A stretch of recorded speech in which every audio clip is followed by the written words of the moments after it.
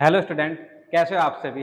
तो मैं मंजित भास्कर एक बार फिर से स्वागत करता हूँ आपके अपने परिवार शिखर एकेडमी में। कल हमने लाभ हानि का पार्ट वन पढ़ा था, यानी कि उसमें सिर्फ़ यही जाना था कि लाभ क्या होता है, हानि क्या होता है, क्रय क्या होता है और विक्रय क्या होता है। आज हम पढ़ेंगे इनके क्वेश्चन के बारे में, आज हम जानेंगे इनके क्वेश्चन के बारे में कि कैसे कैसे क्वेश्चन आपके एग्ज़ाम में पूछे जाते हैं। चलिए स्टार्ट करते हैं। क्वेश्चन है आपके पास कि एक व्यक्ति ने बारह रुपये, बारह वस्तुएँ बारह रुपये में खरीद कर एक पॉइंट दो पाँच रुपये प्रति वस्तु के भाव से बेच दी। सौदे में उसका लाभ प्रतिशत कितना होगा? एक आदमी ने क्या किया कि एक बारह वस्तुएँ कितने रुपए खरीदी? बारह रुपए की। इसका मतलब मैं बोल सकता हूँ कि एक वस्तु एक रुपए की थी। तो मैं निकाल सकता हूँ कि एक वस्तु का क्रय मूल्य कितना होना चाहिए? एक वस्तु का क्रय होना चाहिए आपका एक रुपया। ठीक है भाई? एक रुपए की एक वस्तु खरीदी थी उसने और बेची कितने की? एक पॉइंट दो पाँच रुपए की। मैं बोल सकता हूँ, एक वस्तु का कितना होना चाहिए? विक्रय मूल्य कितना होना चाहिए? एक पॉइंट दो पाँच रुपये अब स्टूडेंट आपको देखना है कि भाई, एक रुपये की खरीद के आप एक पॉइंट दो पाँच रुपये की बेच रहे हो। इस बात का मतलब है कि आपने पॉइंट टू फाइव रुपये का लाभ ले लिया। कितने रुपये का लाभ लिया? अगर मैं लाभ की बात करूँ तो आपने लाभ लिया पॉइंट टू फाइव का। मैंने आपको बताया था कल भी कि आपको जब भी लाभ या हानि होगा, वो हमेशा क्रय मूल्य पर ही होगा। तो आपको लाभ हुआ पॉइंट टू फाइव का। कितने रुपये पर? एक रुपये पर, यानी क्रय मूल्य कितना है? एक रुपया और प्रतिशत वाला सौ। तो जब आप इसके टू पॉइंट टू फाइव के मल्टीप्लाई आप हंड्रेड में करोगे तो आपका आ जाएगा ट्वेंटी फाइव, यानी पच्चीस परसेंट आपका क्या आ गया?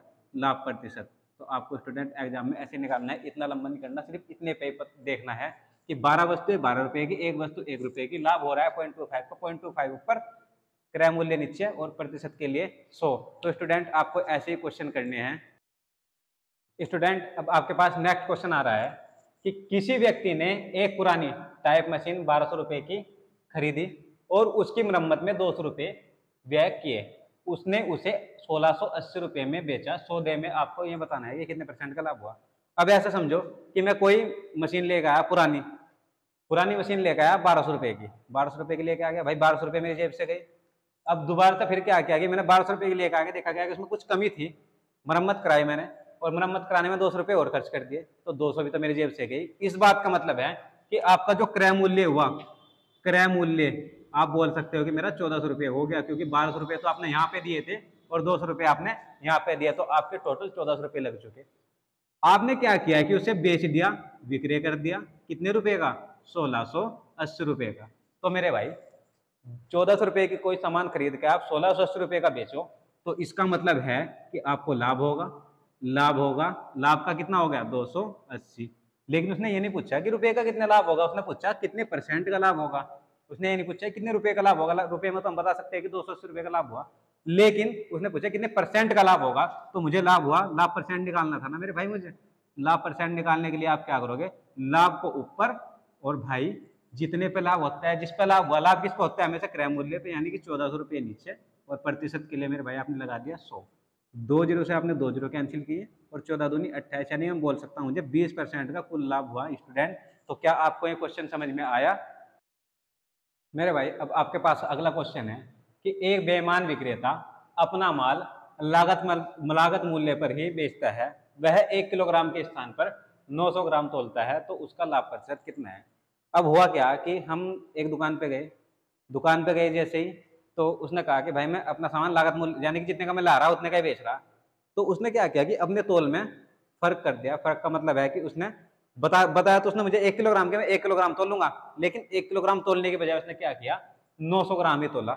यानी कि उसकी जेब से कितना गया? सिर्फ़ 900 ग्राम। उसकी जेब से कितना गया? 900 ग्राम। तो जो हमारी जेब से जाता है वो क्रय मूल्य, यानी कि 900 ग्राम गया उसकी जेब से। और बोलना उसने कितना? कि मैंने कितना दिया? पूरा एक किलोग्राम दिया। तो उसने कितना बचा लिया? मेरे भाई सौ ग्राम बचा लिया उसने। तो नौ सौ रुपये पे, नौ सौ ग्राम पर सौ ग्राम बचा लिया और प्रतिशत के लिए सौ। तो आपने कैंसिल किया तो आप लिख सकते हो सौ बटे नौ। अगर ये नहीं होगा तो नौ कम नौ, ग्यारह से ही एक बटा नौ परसेंट का उसने क्या ले लिया? लाभ ले लिया मेरे भाई, क्योंकि जो हमारी जेब से जाएगा, बिना फॉर्मूले के करो मेरे भाई, जो भी हमारी जेब से जाएगा, जो भी हमारी जेब से क्या होगा, जाएगा वो हमारा क्या होगा? क्रय मूल्य और जो हमारी जेब में आएगा तो वो क्या होगा विक्रय मूल्य? उसकी जेब से सिर्फ़ कितना गया? 900 ग्राम। बचाया कितना? 100 ग्राम। प्रतिशत के लिए 100 और सीधा आपका फाइनल आंसर निकल के आ गया। 11 से ही एक बटा नौ परसेंट। तो आपके पास अगला नेक्स्ट क्वेश्चन निकल के आ रहा है कि यदि कोई व्यक्ति अपनी हानि को विक्रय मूल्य का बीस परसेंट अनुमानित करता है तो उसकी प्रतिशत हानि कितनी होगी? यानी कि आपसे पूछा है कि वो विक्रय मूल्य तो ले रहा है बीस परसेंट की हानि। तो ये बताओ कि आपके क्रय मूल्य पर कितनी होगी? तो मैंने क्या कहा कि विक्रय मूल्य का तो किसका? विक्रय मूल्य का कितना परसेंट? बीस परसेंट, यानी कि हम बीस परसेंट की जगह लिख सकते हैं, बीस अपॉन सौ बराबर। कितना अनुमान, किसके अनुमानित करता है? हानि के। विक्रय मूल्य का बीस परसेंट किसके बराबर है? आपके हानि के। तो हम इसको काट सकते हैं, यानी कि हम लिख सकते हैं एक बटा पाँच। तो ये विक्रय हम लिख सकते हैं कि हानि बटे विक्रय मूल्य बराबर आपका आ जाएगा एक बटा पाँच। यानी कि आपका विक्रय मूल्य तो था पाँच रुपये। पाँच रुपये की आपने कोई वस्तु बेच दी थी, लेकिन आपको उस पर एक रुपये की हानि होगी। तो मैं सीधे सीधा बोल सकता हूँ मेरे भाई कि मुझे, मेरा जो क्रय मूल्य था, वो कितना था? छः रुपये का। छः रुपये का इतना होगा भाई, पाँच रुपये की वस्तु बेच के एक रुपया मुझे घाटे में चली गया। इसका मतलब मैंने खरीद रखी थी कितने की? छः रुपये की। अब आपने कोई वस्तु छः रुपये की खरीद रखी थी, एक रुपये की आपको उस पर हानि होगी और प्रतिशत के लिए आप लगाओगे सौ। तो जब आप इसको काटोगे तो आपका आ जाएगा सोलह से ही दो बटे तीन परसेंट मेरे भाई तो ये आपकी हो जाएगी क्रय मूल्य पर हानि परसेंट तो ये आपका फाइनल हो जाएगा आंसर तो यदि आपको मेरे भाई, हमारी वीडियो पसंद आ रही हो तो आप हमारे चैनल को लाइक करें सब्सक्राइब करें और अगर लाभ हानि का अगला पार्ट चाहते हो तो कमेंट बॉक्स में लिखकर ज़रूर बताएँ। धन्यवाद।